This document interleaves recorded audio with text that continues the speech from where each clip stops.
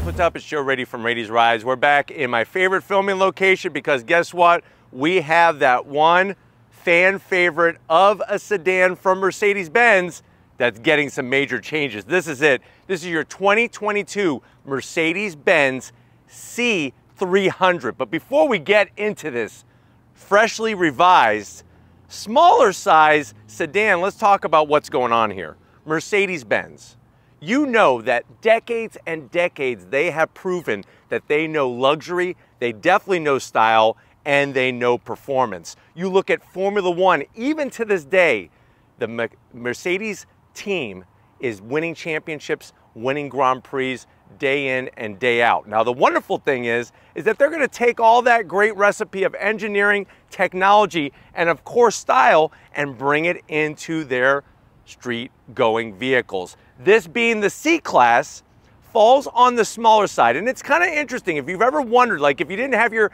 Captain Crunch decoder ring and you're trying to figure out what does the letters on the back of a Mercedes-Benz mean, when you see A, C, E, S, so on and so forth, that's telling you what class vehicle it is and what size it is. So A is gonna be the smallest, next up is C, then we have E, and of course we got the larger full-size luxury sedan, that OG of a luxury sedan known as the S-Class. Now for 2022, they've gone through the whole outside, definitely gone over the interior, but what I wanna find out is, if you're comparing this to two of the main competitors in this class, that being of course the BMW 3 Series, and that's gonna be the BMW 330i for this particular one, or a newcomer, the Genesis G70. Are those two the way to go, or is this the best luxury sedan for the price? Let's go ahead, let's dive into the C300 and find out. Right off the bat, you're gonna notice the changes. And what I like what they have done is they've taken a lot of the styling from the S-Class and brought it to the smaller C-Class. So at the front of the business, you're gonna get a very unique shape that goes with the Mercedes styling today. And like I said, this kind of mimics what's on the larger, bigger brother. So you have your full LED headlights, LED daytime running lamps, and LED turn signals. I really love the way they have all the elements inside the housing looking really kind of futuristic. A little bit of chrome, everything else is blacked out, but definitely an A plus on the headlight. Now, as you work your way down, this is gonna be a zonk-filled area. Instead of there being any kind of corner air intake, any kind of air curtain, or even fog lamps, what do we have? Fake vents. So this is gonna be a big zonk here. They do bring a little bit of horizontal gloss black, but it would have been nice to do something with this area. Like I said, even just making it an air curtain would have helped out with aero efficiency at the front, but I do love the way they take the front fascia and kind of angle it down towards the asphalt. Now, as we come across that iconic badge, the Silver Star, if you go back to Grand Prix racing and look at all of the greats that were in Mercedes-Benz products while they were racing in Grand Prix uh, tracks around the world, it was the silver arrows, the Mercedes silver, silver arrows. We got that star, that Mercedes star. I like the way there's a little bit of chrome finish around the perimeter and also on the horizontal extensions as it branches out. You get a forward facing camera, which is great. And I do like the way they just went flat black with the vertical stakes behind all of this ornamental work that they did on the front. It's got like a nice concave finish, but there's your forward facing camera. Working your way down, we do have functionality in the center. And you'll notice I love the way they take the bodywork, especially that it's color matched extends it down at an angle, and then this lower lip extends out with a bit of chrome.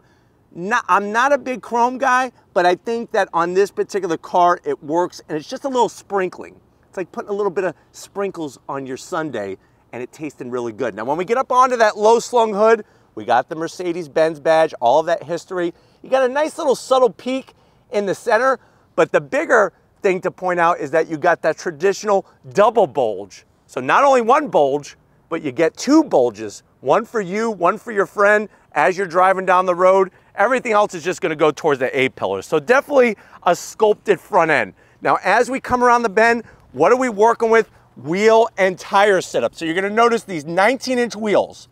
I like the way there's not a, they're not AMG branded. So yes, there are AMG optional wheels you could get, but this is your basically your standard wheel on this particular one, 19 inch wheel. Love the machine aluminum, the gloss black. You got rotors that are over 14 inches in diameter, all four corners. And then another thing that I like is the tire size. So it's a 225 on the width with a good 40 series sidewall. So not too low, not too tall with these Pirelli P Zero tires, but definitely clean. I think that's the, the name of the game with this style. Very clean German styling. Now, as we come down the fender, everything is smooth, kind of curves down towards the bottom portion. We're gonna get color matched on the mirror caps, 360 degree cameras, and your turn signals built in. The one thing I wish that it would have had is when you lock the doors, it doesn't have power folding mirrors when you lock the doors. So that to me is a little bit of a zonk, but I like the way they have the shiny bright metalwork top and bottom, matches with what's at the front of the vehicle. Plus we have a little bit on the door handles. You'll notice on the lower portion, that nice body line that comes towards the rear. And then one thing that's also a big plus is that you have a standard size sunroof. Would have been nice. Let me know if you think that this should have had a panoramic sunroof. I think you're probably gonna say yes. But you do have a standard size sunroof. Working your way towards the rear, this is a 4MATIC. What does that mean? It has all-wheel drive, so you're getting power to the ground, all four corners. Let's focus on the rear tire for a second because these are 255s. So we got a little bit more meat, a little bit more rubber to meet the road and to grip you. And that's an all-wheel drive system that sends power from the front to the rear and vice versa. But I like the way the wheels are staggered with the width just to give you a little bit more grip. And then coming around the back, we got some good things and we got some not so good things. My favorite thing is gonna be how they work the taillights. Just like the headlights, look at all the detail inside that taillight housing. Full LED, we got our 4MATIC badge. Get ready for it. We're gonna do the five finger zonk test. Are you ready? One, two, three. Fake exhaust. So that's gonna be definitely a big zonk on both sides are fake exhaust. I know some of you say, well, Joe, it doesn't make the back of the car dirty because of all the carbon buildup. Here's the thing, just wash your car and then all of that dirt comes off, just like on your wheels. If your wheels are dirty, clean them. Just a little tip from me to you.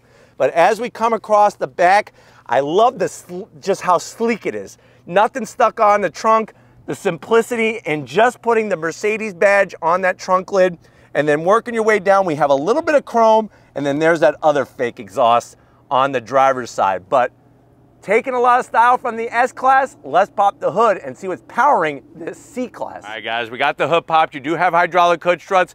Underneath the hood, you're gonna see a lot of plastic, but I think that's actually a good thing because this being a standard C300, it's got the smaller power plant. Now, what are we talking about underneath that engine cover? You're looking at a two liter inline four turbocharged engine pumping out 255 horsepower, 295 pound-feet of torque. It is mated to a nine-speed automatic. That's a conventional torque converter automatic transmission with all-wheel drive.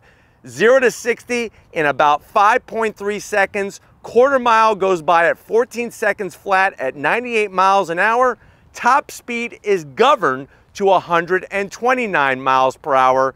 MPGs in the city 23, on the highway 33, and the vehicle with the all-wheel drive weighs 4,044 pounds. So this being that entryway into the C-Class, of course, there are larger power plants, more horsepower in the C-Class form, just like on the BMW. That's why we're comparing it to the standard BMW 330i and not the 340i. And of course, we're comparing it to the G70 that has the four-cylinder turbocharged engine. But why don't we go ahead, let's fire this up and hear if there's any fake noise that comes out of those fake exhausts.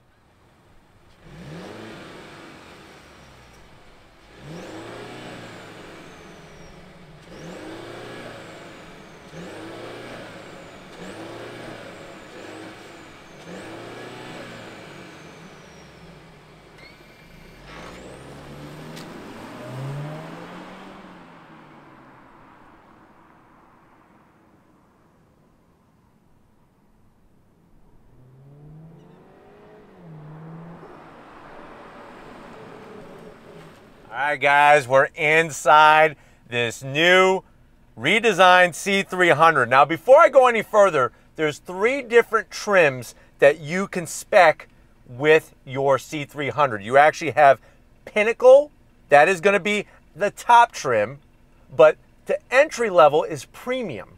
Premium is your entryway, that's the lowest trim. Then you have Exclusive and then Pinnacle. Now, I know you're saying to yourself, well, Joe, what about price? I'm looking at a BMW, I've already spec them. How much is this C300? So base price on the Pinnacle is right around $46,000. This one has been specced out to $57,000. Let's see what you get for the money to the all new door panels. So just like in the S-Class, we have some new style, all soft, soft touch material. The one thing I'm a little troubled by is the amount of gloss black around all of that switchgear. You do have three memory seat settings and we have three stages of heated seats. We have the unique Mercedes-Benz seat controls up top. You got your aluminum speaker grill cover. I like the way they did the silver and that floating portion of the middle of the door panel. The stitching is nice. Door pocket is a pretty good size. I would say probably you could fit in there two Entenmann's bun cakes and a nice bottle of milk to wash it down. Now going from the door panel to the dash, I'm really digging the style. Soft touch material, I'm liking the silver. And then the thing that I like even more is this almost like fish scale material. Instead of it being gloss black, it brings a nice sportiness, a nice classiness to the vehicle, but there's no fingerprints. We get to the center stack, you got that traditional setup that Mercedes-Benz brings with their aeronautical style AC vents. You'll notice some ambient lighting, which there's tons of ambient lighting in this vehicle, but I love the way they styled the AC vents. And then what do we have here? You have your 12.3 inch infotainment system screen. Now what's fascinating, it mimics exactly what the S-Class has. This one's a little smaller. S-Class is about 15 inches. This one is 12.3, but as you can see, you have your navigation with your little tiny Mercedes-Benz C-Class there. It's all touchscreen. You got your AC controls, of course, dual climate. And then what's really interesting is that they actually have a fingerprint scan where you could get into certain functions on the infotainment system. If I hit the little car here, that brings up all of the settings that you can adjust. Nice, easy to swipe features. We go into dynamic. What do we got? We got our different drive modes. You know what we're to be doing, leaving it in full sport mode. And then what about cameras? I throw it in reverse, super clear. I could actually count how many blades of leaves are on those palms back there. You got your 360, and then you could easily just adjust. I mean, look at that.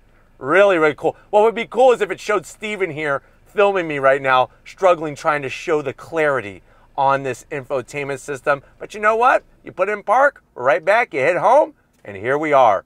Working our way down, you have that nice fish scale material. Open up the door. What do we get? Look at that. Two cup holders. We got wireless charging and a place where you can easily stack two Twinkies in there. Don't do three because you're gonna bust cream all over this beautiful interior. I do like the new key fob. Very, very classy, very nice touch on the key fob with that Mercedes-Benz star there. And then of course we got the Bombay doors, bombs away! Two USB-Cs, felt lining. So what you could do is you could put your class ring in here and it's not gonna get scratched. Remember how you broke up with your girlfriend in high school and you had a fighter to get that class ring back because she used to wear it around her neck like a little charm, like a lucky charm. You could keep that class ring in here. Nobody's ever going to take it from you ever again. I promise. Lock it up. Seats, leather every, everywhere, nice stitching all the way down. You got a unique style the way they do the materials in here. And of course, like I said, it's power assist for the passenger, power assist for the driver, and then the cherry on top is going to be that little bit larger than standard size sunroof. I would like to see a panoramic sunroof. So that's going to be a zonk and definitely at $57,000. Where's my ventilated seats? But you know what? There's more to show coming over the business end. Let me show you behind the new wheel of the C300. All right, guys, business time behind the wheel. We get three memory seat settings, of course, for the driver. I like the way they have this nice, tasteful aluminum sill plate. We got the Mercedes-Benz name that lights up LED. And of course, we have the optional LED puddle lamps that make the Mercedes-Benz star logo on the ground when you go and unlock your vehicle. It's almost like the bat signal for Batman to come out. That means your Mercedes-Benz is re ready to rock and roll. I'm six feet tall. This C300 has grown about 2.3 inches in length over the previous generation. So that's gonna give you a little bit more room, a little bit more room. We'll see what happens in the back seat.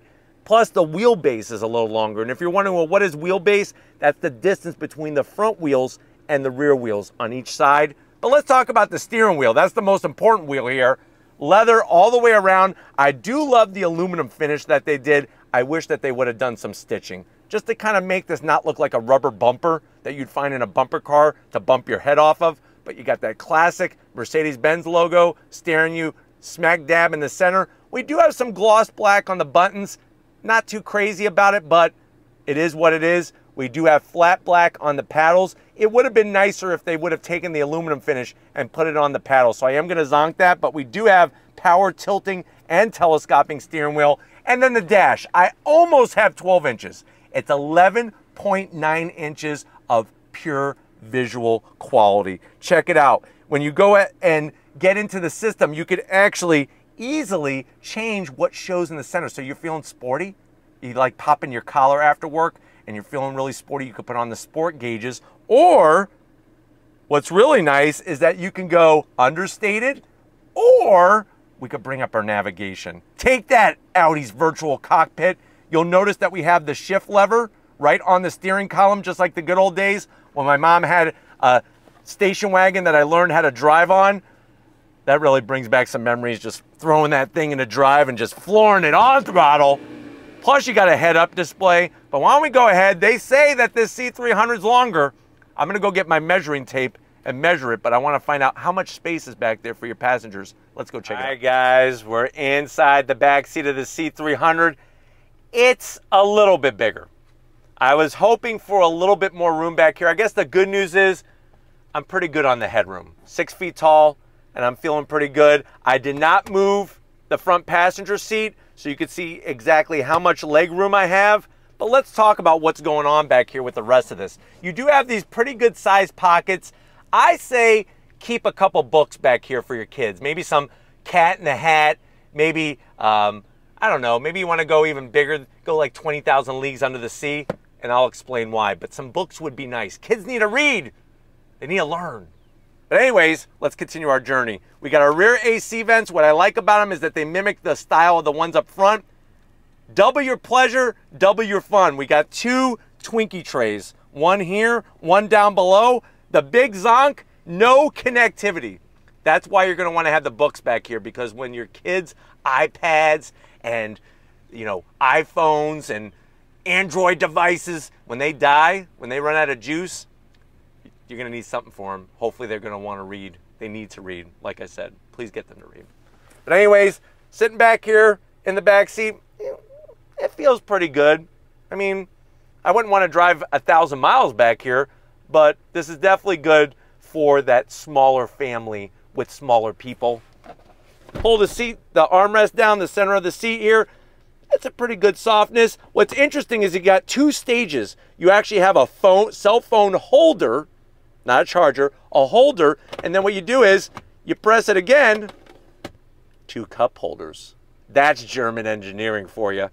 Close it back up, seal it up, signed, sealed, delivered, with a kiss, of course. But why don't we go ahead, let's check out the trunk space and see just what kind of junk we could put in the trunk of the C300. All right, guys, time to check out the trunk. What's nice about the top Pinnacle trim is this one has a power opening trunk to make things a little easier. And what's incredible is they did a great job for a smaller sedan, making the opening nice and wide and a low cargo floor. We have our cargo net on the driver's side. This is for the emergency two box of Twinkies. You could easily put two box of Twinkies. We got our buttons, our switch gear to fold down the rear seats to maximize our space. And then, like I said, plenty of room in that cargo area. You're basically looking at a little over 13 cubic feet of space. But don't we go ahead, I got the power trunk.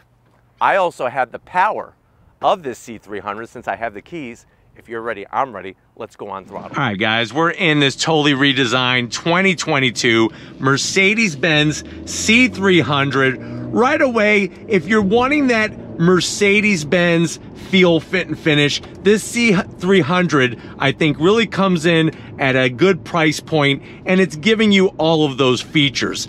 The best part is that infotainment system, the way that they took the style from the larger S 500 and brought it into this C300. Easy to get to. You got your navigation, your 3D, uh, three-dimensional cameras, the whole nine yards. On the dash, I was feeling a little sporty. And what's great is, is that I actually changed the instrumentation to showcase that. So the graphics, the fonts, the colors, really cool setup. You, of course, have that EQ boost gauge, which this C300 has. And remember to go into the modes, very simple. Right now I'm on eco. I don't want that. I want sport. So we hit that sport button. That's going to adjust everything from steering feel, engine response, the whole nine yards. I like the thickness of the steering wheel and the feedback that you get from it. You know, this is the kind of stuff like I was telling you about. Lewis Hamilton doing the business on Formula One circuits all that engineering gets brought into their street going vehicles as well. But let's go on throttle here. If you're ready, I'm ready. On throttle.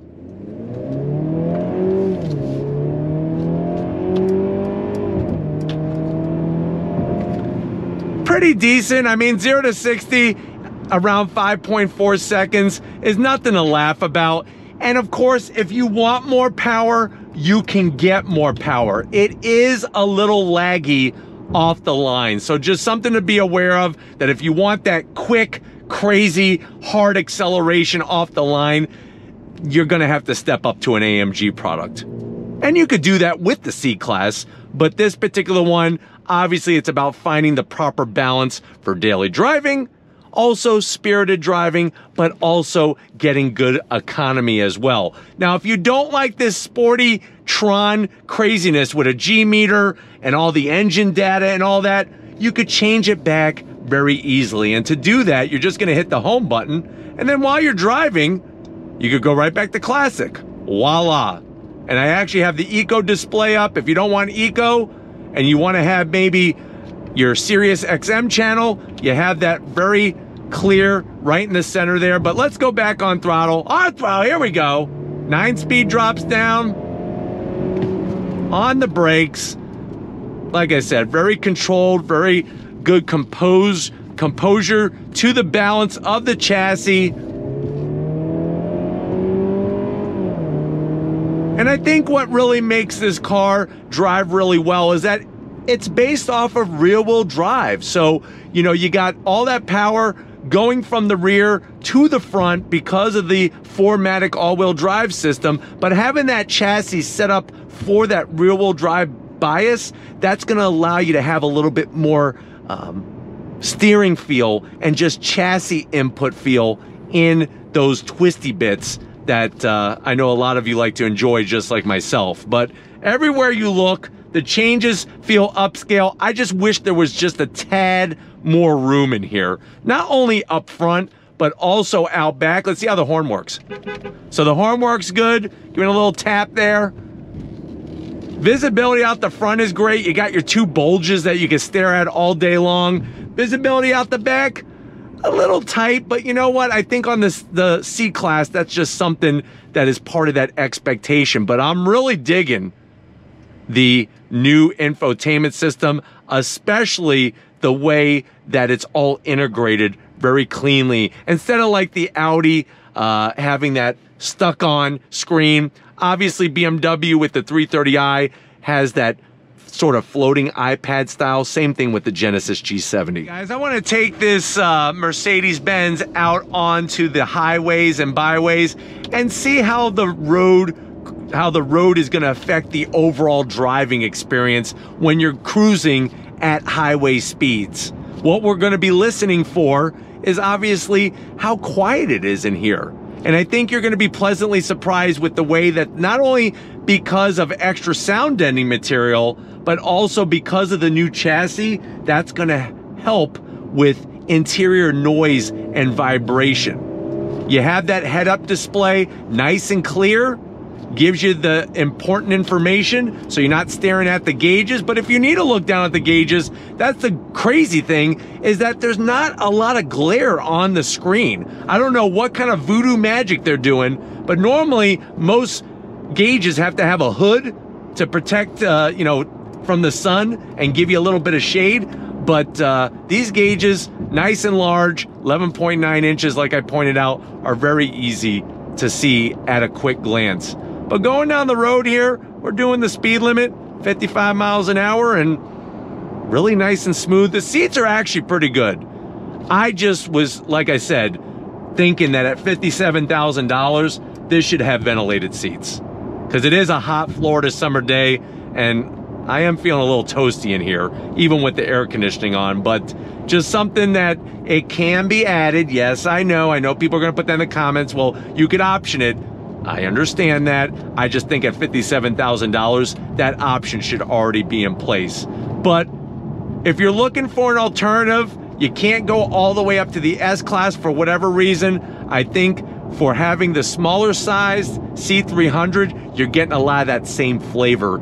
And I think that was a smart decision by Mercedes-Benz to do that. But hopefully this overall review has been good for you to give you those detailed uh, points, not only on the way it looks, but also the way it drives. We're gonna get back to where it all started and wrap this one up. So I'll see you in a Mercedes minute. It's been a wonderful day with this Mercedes-Benz new C300. Definitely gotta thank everybody at Mercedes-Benz USA for allowing Raiti's Rides access to this press fleet vehicle. Let me know what you think. Has Mercedes-Benz done what they've needed to do with the C-Class to make it the go-to over the BMW over the Genesis, even throw in the Audi S4 as well. That is a competitor to the C300. But let me know where you would spend your money or which one tickles your fancy. But until we meet another day in another empty parking lot, hit that subscribe button. If you're new to the channel and you're on your way out, I promise you it's worthwhile. Come back for more. If you are a subscriber, thank you for being part of the Raiti's Rides family. We got to give it up to the man behind the lens wearing his special sun hat to protect him from the ultraviolet rays. Thank you, Steven, for your awesome work. You're so good with a camera, it's almost x-ray in its form. So thank you for all that you do. And just like always, guys, I'll see you on the next ride.